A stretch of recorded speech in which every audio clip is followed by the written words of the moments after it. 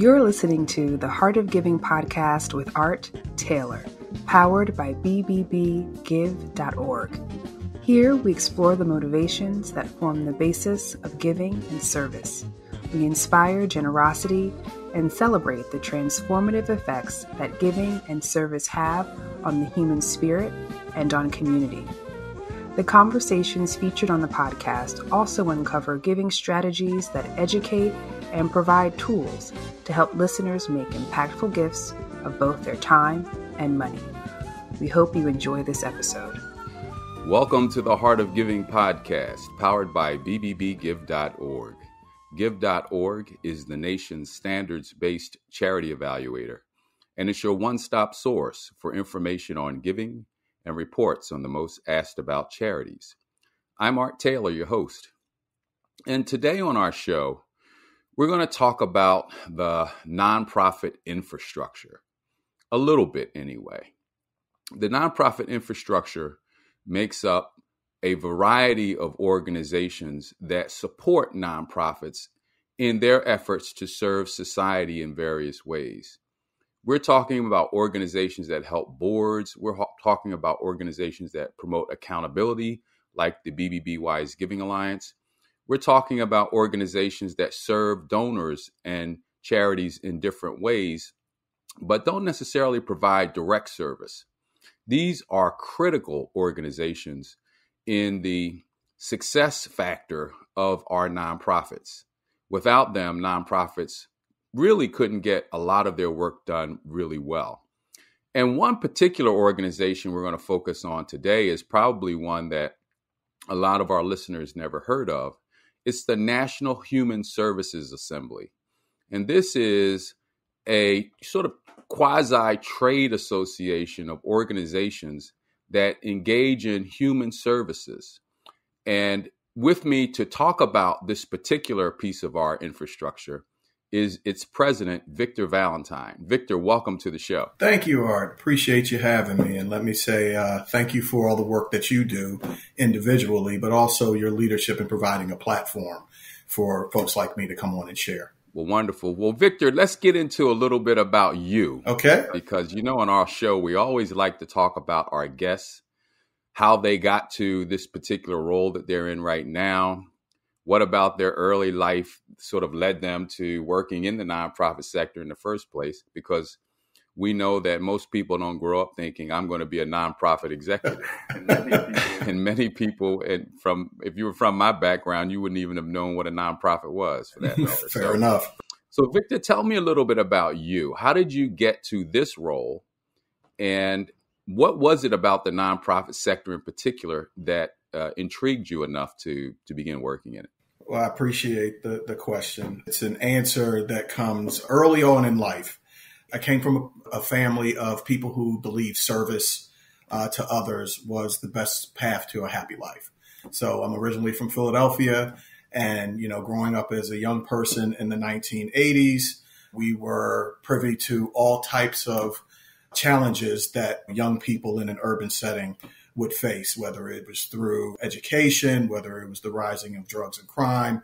And I always believed, because of my own personal background, that I was always one degree of separation from being caught up in something negative. But I was fortunate to have parents and a support system around me.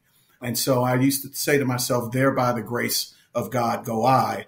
And that made me want to give back. And at, again, at an early age, I identified public service as the vehicle. Uh, at first, it was more political in nature. I went to school to get a poli sci degree and then ultimately matriculated to get a master's in public administration. But I, instead of politics, I decided to dedicate myself to public service. As far as the nonprofit world came, it was my my entry point from moving away from government, where I served on the staff of the former mayor of Baltimore City, to, to moving into a role of working in a nonprofit in Baltimore that provided um, services to people who were engaged in the criminal justice system. And that's kind of where I really got my love and desire because just like a construction worker can see through their efforts as they lay a foundation and then they put up the framing, um, you're working with people and you can see the changes in their lives. you feel like there's a sense of accomplishment. So ultimately, through multiple arenas, whether it was in Baltimore City, moving and working in New York City, primarily in the workforce development space and the civil rights advocacy space. It led me to there comes a point in time when you want to take the things that you've learned, the things you've been fortunate enough to engage in, and you want to take them to scale. So the National Human Services Assembly provides a vehicle now for, because you mentioned very astutely, we are more of a backbone organization for other nonprofit organizations to help them build their capacity to take their services and goods to the communities across America. So being in this role now helps me to kind of bring to bear all of those traits all of those experiences, all of those supports that I've received over the years, and help to shape an agenda to, to help other organizations build capacity to do more. Super. Victor, tell us about the work of the National Human Services Assembly. Sure. Well, the National Human Services Assembly, to your earlier point, is a membership organization. It consists of some of the nation's most active providers in human services, some very well known and some not so well known organizations. But we like to say that our members reach practically every community in America, and their services range from serving people with disabilities, older adults, youth, workforce development, economic mobility. If it, if it has anything to do with providing needed goods and services to help you know Americans reach the goals and to fulfill the quote unquote American dream. Our members are in those places and spaces, and that's also whether it's urban, suburban, and or rural. We do this primarily, you know, again, as a backbone organization by helping to support our members through strategy. And we have four strategic pillars in which we do this. The first is we like to support organizational capacity building. We have a group purchasing program called Purchasing Point which allows nonprofits to pool together uh, to buy goods and services at a significant discount. Because I, you know, a lot of times when you ask nonprofits what are their biggest issues, many times they'll talk about funding. Well, there's two sides of the of that economic equation. There is how much money you're able to bring into an organization, but then there's also developing efficiencies through your operations to help you save more money towards your mission, which is our tagline. The second way we like to, to support the industry is we, we are a convener. We're a convener of experts, of partners, of supporters, of interested parties, and ultimately the, the people who we're, we're trying to serve around strategies. And one of our main strategies is youth diversion because we believe that, and we look at youth diversion in multiple ways. Obviously, we need to invest in our young people and we need to reduce the number of young people who get engaged in the criminal justice system for various reasons. But the other part is that's also an equity strategy. Because as we know, by and large, many of the youth who are engaged in the criminal justice system come from diverse ethnic and racial backgrounds. The third way that we like to support the sector right now, the human services sector in, in particular, as well as many other nonprofits, are going through a human resources shortages. The great resignation we're looking at this as not only a way as jobs start to come back online, um, how are we going to build our organizations in a way and in a manner that allows us to be flexible, adaptable, and relevant going forward? But this is also another opportunity to tap into people and populations um, that may not know about the, the great work that human services are doing, but also the economic driver that the companies who do them are. And last but not least, we like to promote best practices for diversifying the human services through leadership. And when I mean leadership, that's at the board and the C suite levels. We can talk till we're blue in the face about some of the current challenges brought on by COVID, by racial and social unrest, um, by economic downturns, but there are some of the old ways and old issues that are, have never really gone away. And, and we know that many of the organizations who are working in communities are not reflective enough of the communities that they're trying to serve. So that's a little bit of a background about who we are and what we're trying to get done. Victor, what are some of the issues that human services organizations are really facing today? And have those issues changed in your estimation over the last decade or so? Okay, so if you're talking in the last decade, as I mentioned, I'll mention two in particular. I think because of the pandemic, I tend to say that it, it's no different than if the world was hit with a, a, nuclear bomb. So what do I mean by that? Is that all of us now, in some ways, have had to shelter in place. Our movement has been restricted. We're doing business and building and keeping our relationships going in many different ways. We're doing virtual meetings and our organizations are having to run their business both electronically and virtually. And so we have a, a moment in time where, from a human resources standpoint, people are leaving the industry, have left the industry, but the need is still as great as it's ever been, if not even more so as organizations that may traditionally have been doing work in workforce development, you now have to pay attention to the mental health component of workers who have been dislocated or whose lives have been turned upside down. And we have to bring more professionals back into our organizations that one, have a passion and a commitment and a desire for the work. Two, are supported in doing the work beyond the normal ways that we used to support, which is simply providing a space and, and a paycheck. We now have to think in terms of a creating an ecosystem to develop the talent if we want to attract them. And last but not least, we always have to continue to look at the wages of the people who are, are doing this work. Bottom line is, is that in many cases, those who are doing some of the greatest work in our communities are one degree of separation of needing those services themselves. And we have to change that dynamic, but that's not a new dynamic. Another dynamic that I would say still persists, and I am and, and you are the living, breathing embodiment of diversity in a leadership space when it comes to both the nonprofit, human service, and, and, and philanthropic sectors. We need more people who are bringing more diverse ideas, more diverse thoughts, different type of energy to the table. And so, and you know, and this is now becoming an issue on multiple levels. Funders of organizations are paying closer attention to how is your, your leadership paradigm structured? Are you representative of the communities you're trying to serve. Because if you're not, how can you possibly understand how to meet people where they are and develop the needs and the services that will be culturally competent in order to make a real difference? And so we also need to look at how are we attracting diverse communities to this work? Where are you looking? As an African American male, are you working in places and spaces trying to talk to men and young women of color who might be associated with an organization like the Urban League, who has a young professionals group?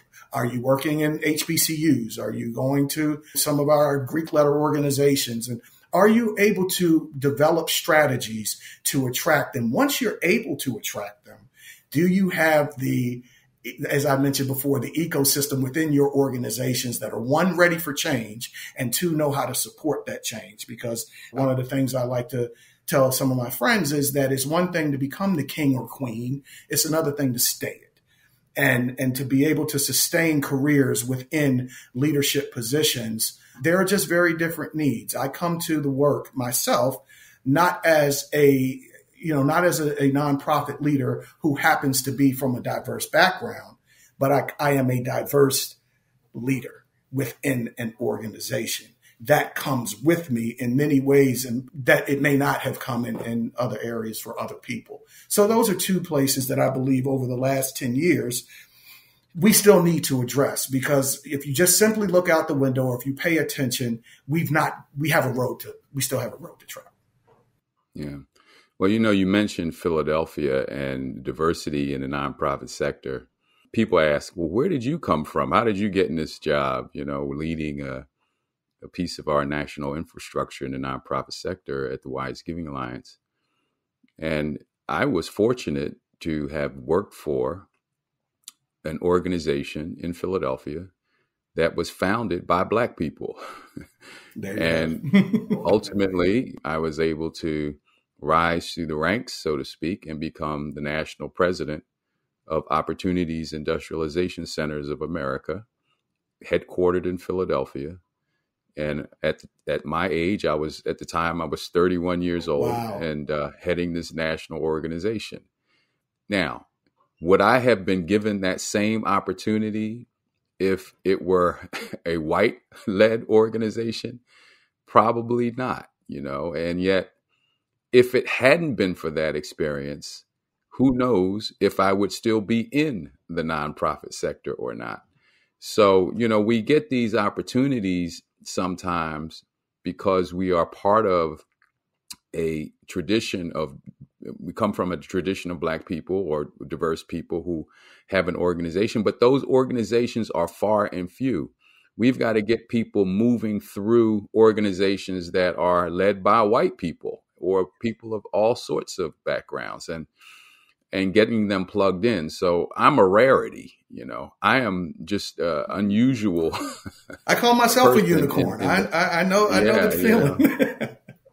yeah it's just uh, you know we're getting getting these opportunities and that's not to say that all success is less than fortuitous. I mean, there, there's always a break that you got here or there, and someone saw you do something and you get an opportunity, or something odd happens, and the next thing you know, you're in a role. That happens all the time. And I, I don't like it when people say, well, you know, I worked hard and I was able to do this, that, and the other thing, and I pulled myself up. Well, you know what?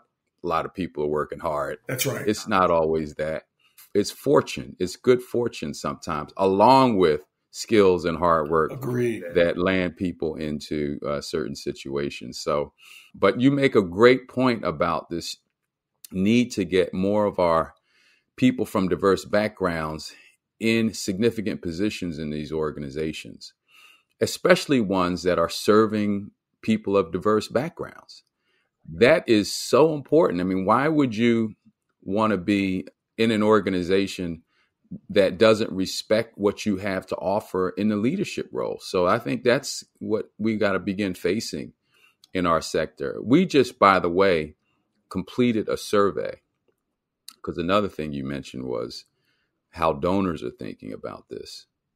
And we're going to have some really blockbuster information coming out about how donors think about organizations that are engaging in diversity, equity, and inclusion. And we're talking about donors across the board, every race, color, religion, age group.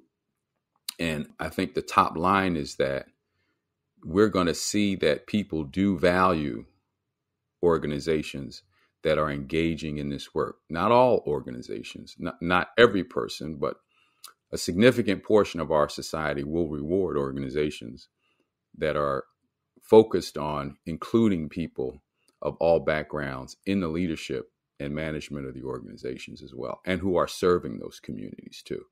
In fact, I just saw the Goldman Sachs, the great Goldman Sachs organization, I just saw in their 10 million Black women initiative, they have just announced that they're going to give 50 to $250,000 grants two organizations that are led by black women.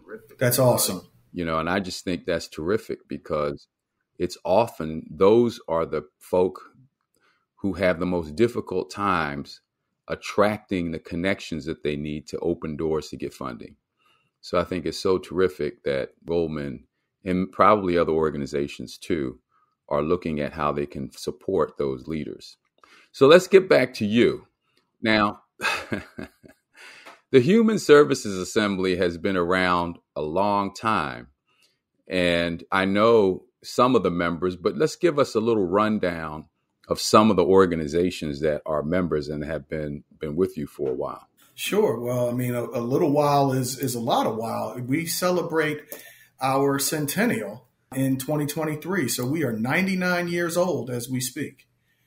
And some of the organizations, I can tell you, you know, I'll mention some that might come to mind very easily, and then maybe some that that don't. But we're very happy and proud that we have this collection of human service organizations. So we do have the United Way Worldwide as a member of our organization. We have youth advocate programs. We have the Community Action Partnership Network. Then there are those that come the Big Brothers Big Sisters program, Girl Scouts, the American Red Cross the ARC. And then, you know, from a veteran standpoint, combined arms representing the LGBTQ community Centerlink. So we, we have a lot of folks that are associated with this work. And then when you start to think about folks that other organizations that are providing backbone and leadership, you know, the Nonprofit Leadership Alliance, Uh, is one of the, the primary and, and, more prominent organizations that help us get our, our work done. So, you know, I'm just mentioning a few uh-huh. without going through the whole list. And, and again, those are some of our core partners. But, you know, we have tons and tons. Each one of those organizations are parts, you know, is a part of a much larger network. And so our reach goes beyond our core partners, not just some of their subsidiaries, but into the regions and into the various other organizations that may be a part of. When we decide to distribute information on a regular, it goes out to 8,000 people. So, and that's just our core communication list. That doesn't include the ancillary groups that are associated with it. Yeah, that's, that's pretty significant work that you're doing. Your membership is indeed vast. Now, talking about diversity, one of the members you mentioned is United Way Worldwide. And I want to hold up that Angela Williams yes. is the new CEO there. And she represents the first Black woman to serve as the CEO of the United Way Worldwide, which I think is just wonderful. It is wonderful. And I hope everybody gets to meet Angela because she is just amazing. She is just wonderful. She's smart. She's a lawyer. She's she's also a minister. Most people don't understand that. She's a minister as well her heart is just full of love and joy and in her head she's competent she's able she is a true leader. And i know that the united way and your network too is going to really benefit greatly and our country is going to benefit greatly from angela's leadership. And, and, and kudos to the united way worldwide board for having the the foresight and the, the strength to position uh, Angela for that role. So, agreed. Uh, great kudos to them. I am looking forward to meeting her as well. We've exchanged early communications, and I smile because I come from out of in a previous life.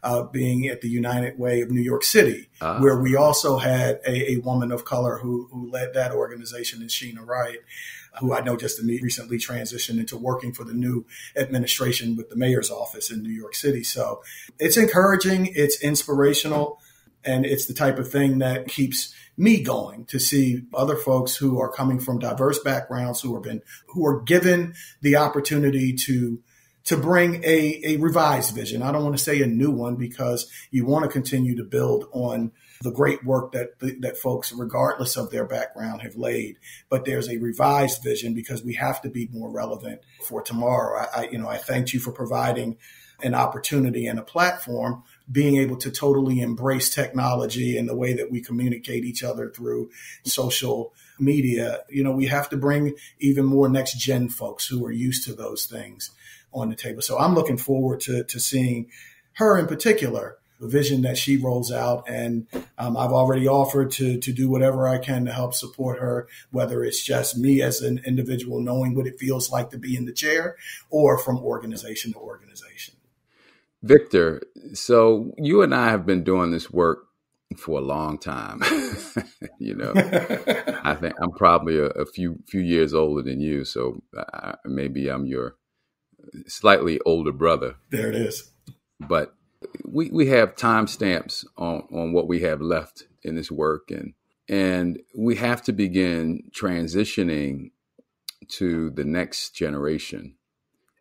And we want to make sure that people coming into this field have the knowledge and uh, history and they can also take advantage of what we've learned and they can ignore some of the stuff we did wrong, right? They can avoid some of the pitfalls that we made. Well said.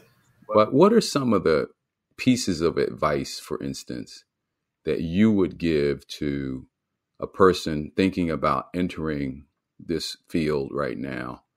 What would you tell them that would be both helpful if they did get in mm-hmm. and both inspiring to get them maybe over that hump?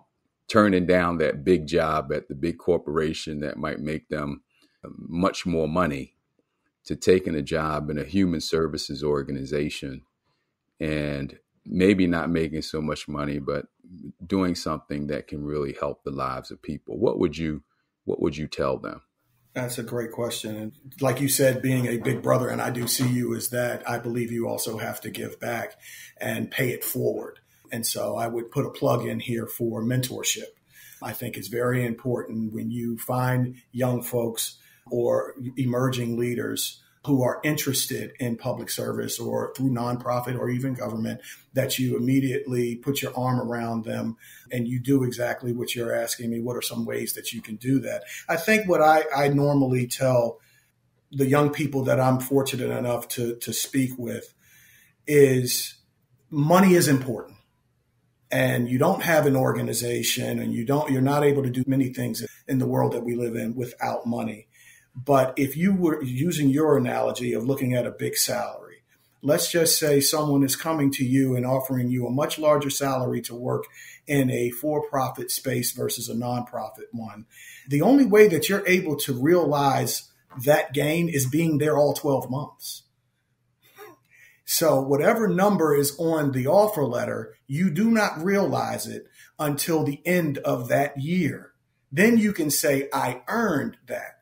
And there are many obstacles in the way between now and then, especially if you're not feeling that your purpose, that your skills, that your energy are being utilized to their fullest.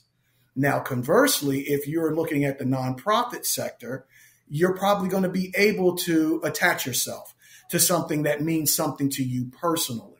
And there might be a level of fulfillment associated with your work. So, you know, I'll just use a real number. There's a $150,000 salary in front of you from the corporate, but then there's a $75,000 one at the nonprofit. If you do not make it out of your 90 days, at the corporate, you do not get the 150, but because you are fulfilled and there's a there's a phrase that says doing good is good business. You'll be able to sleep at night and you'll be more motivated to get up when it gets very difficult. Because the, the most important thing, particularly working in a nonprofit, is you better understand your why. Why did I come here in the first place? Why do I continue to come? What is it that I want to see happen as a positive community level impact or a change or a systems, new systems design that can remove barriers so people can get access to things? Better know your why. And if you're committed to yourself, understand your purpose and know your why, then you can remain a little laser like focused on, on the job at hand when things will inevitably get very, very tough. We're in a human business. And so there comes with that not just the, the roles, responsibilities, and tasks, but there is the emotional intelligence that you have to have because we are sharing the burden with other people for the things that they may happen to be going through. And it's important to understand whether you're doing direct service or you're working in an organization like mine where you're bringing together experts and leaders to talk about how to provide better services. You better understand your why. Yeah. Well, now that we have sort of uh, dissuaded people from entering the corporate world, I'm a practical in favor person. of the stuff we do. I, I do want to just acknowledge that there's a lot that can be done too by folk in the corporate world yes. to support human services. And we want to make sure that young people in the corporate world realize that they can have an impact from wherever they're standing. You just have to decide to do it. And I know it may feel harder early in your career because you have so many other obstacles. You have so many other responsibilities. You're learning. You're you're connected to people who you report to, and you have family obligations, and there are lots of reasons why you might not volunteer to do things early on, or you might not have as much money to give away as you will later on in your life. But there are all sorts of ways to have an impact. And if you're creative, you can find ways to make a difference wherever you stand, whoever you're standing with in your life. So I want to just hold that up too and make sure that young people, in fact, everyone understands that they can have an impact. Now, these human services organizations are the ones that really are on the front line. You know, you're feeding people, you're clothing people, you're providing homes for people who are homeless, you're making sure that kids have what they need to go to school. You are taking care of them when it's time for them to have recreation moments. Mm-hmm. You're helping their parents so that they can do a better job parenting. You're dealing with kids who don't have parents. You're helping people transition from school to work. All of these things are human services that I would frankly say more people are needing as our world becomes increasingly complex. And so here is for anyone interested in making an impact, a clear path to doing that. You know, spending any amount of your time or your career working in human services will give you that immediate impact that you may want to have on the lives of other people. You know, hard stop on that because yep. That's just a pure and simple fact. And you're going to work in these organizations and they're going to be short of everything. I've never worked in a, a, nonprofit that had everything it needed to get the get the job done. But through creativity, through enterprise, through collaboration, and through hard work and faith, really, yes. that you can do this work, things get done. And I can remember many times in my early career leading OIC that we didn't have enough money on Monday to make the payroll on Friday. I know this dynamic, yes. okay. We didn't have the money Monday to make the payroll on Friday. So you get on the phone. Yep. And you start calling people. Can we get this in early? That's right. Where's the check? I know you promised it. I need it right now. When do we when can we get it to when can you get it to me? You call your banker friends. That's right. Can we get a short term loan to make it through this week? And I've never had a situation where the money didn't come. It always got there. And, you know, so some of this is faith. When we talk about human services organizations and businesses together, the two don't even match. Uh, and we've been saying this for a long you know, time. Because, because you have a business and you have this marketplace where you can go to raise money particularly a business that's been around for a while mm-hmm. you know they can raise capital they can do all sorts of things that they need but if you're a nonprofit business plans are great but they don't quite work because you're leveraging all kinds of other things just to make it happen that's right and that kind of career is one that I think can carry a person in any field because they know how to make it work, how to make things happen, how to make something out of nothing. And at the same time, stay focused really on the mission of improving lives and improving our society. So, hey, well, you know, if you're up for a challenge, you know, you and if you're up for making a difference, this is where you should be. Jump in. hey, am I preaching? You are, and, and I am the Am choir. I preaching for you? well, look, we're getting to the end of it, but I want to give you just an opportunity to glance into the future a little bit and tell us what you see as far as the ability of human services organizations to meet the need that continues to grow in our society for the services they provide. What are you seeing now, five, seven, ten years from now? After we, some of us, begin to move off the scene, what, what will we be seeing in our society? Well, I, am going to be a little aspirational and I'll tell you what I hope we see. Okay. Because it is absolutely a time where of transition. It's a time of uncertainty. You know, many of the ways that we have operated in the past will not be the ways that we need to operate going into the future.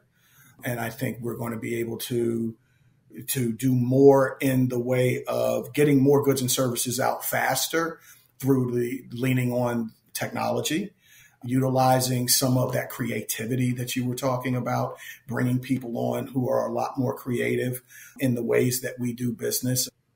I talk about fundraising and how we were used to having golf tournaments and annual galas. And, and so now all of a sudden we're calling events expanded Zoom meetings. Well, how do you show up in a way where you're able to convince people and touch people through a different medium? So I think that, you know, many of our organizations are going to find ways to be more efficient, even in the way they do business. We're coming out of a time where brick and mortar and building monuments to organizations is probably going by the wayside that if you're the heart of your house might be virtual. You can do things more electronically. The transactional parts of a nonprofit can be done a little bit more centrally and, and more efficiently that way so that you can free up more of your resources for getting more of the goods and services into the communities. And i think and this is what i'm truly hoping is that a lot of times when we're thinking in human services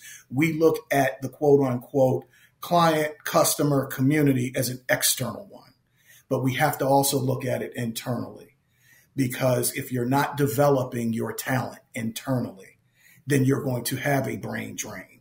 You're going to have a talent drain. So I'm thinking that the human services sector is going to start repositioning, and I'm hopeful repositioning resources towards building its its bench strength so that when we do bring folks in who may not be ready for the top spots, there is a, a ladder or a lattice that has areas for development where they can take advantage of. There's an investment in them so that they will stay long term and sustain careers. That is my hope for the industry in, in a few ways. And then the biggest, the bigger goal is we understand what many of the challenges are that people are facing day to day. And our children and maybe our children's children may not have to face those things if we really commit ourselves less to the I and the people and to the it. What is it that we want to see done versus where do I see myself? And I think when we commit ourselves to that, then we get past the personalities, we get past the politics, we get past some of the issues and challenges that come with just interacting amongst each other. And then we can really focus on here's the impact, the positive impact we want to see in our community. Here's where we believe we can leverage it. And here's the game plan. Let's get to it. Victor, I can't uh, agree with you more. I just want to thank you for joining me and to our guests. You've been listening to Victor Valentine, who is the president and CEO of the National Human Services Assembly. And it's been like just two brothers talking. It's been great. And to our guests and, and to our listeners, I just want to thank you for tuning in. You may be watching this on YouTube, or you might just be listening on one of the major podcast platforms that we're we're on all of them. In case you want to subscribe, I hope you will. And if you want to watch these on YouTube, you can do that as well. Just subscribe to the BBB Wise Giving Alliance channel on YouTube and you can see them. And if you want to support our podcast, you can also go to give.org and make a donation to the BBB Wise Giving Alliance. Or you can also find us on Patreon, Patreon, where you can also uh, make monthly subscriptions to support the podcast. So uh, I hope you'll tune in to our next episode. We're, we're weekly, so you can find a new episode next week. And by the way, if you subscribe, you don't have to think about it. We'll send you a push notification every time a new episode goes live. Thank you for listening. You've just listened to the Heart of Giving podcast with Art Taylor. Be sure to tune in next time for a brand new episode. To listen to our other interviews, visit heartgiving.podbean.com. That's heartgiving.podbean.com. Subscribe to our show on major podcast platforms. The thoughts and opinions expressed on this podcast are the views and opinions of the guests, not those of the BBB Wise Giving Alliance or program affiliates. This podcast is for information and educational purposes only and is copyrighted with all rights reserved. This podcast is protected by Podbean's terms of service.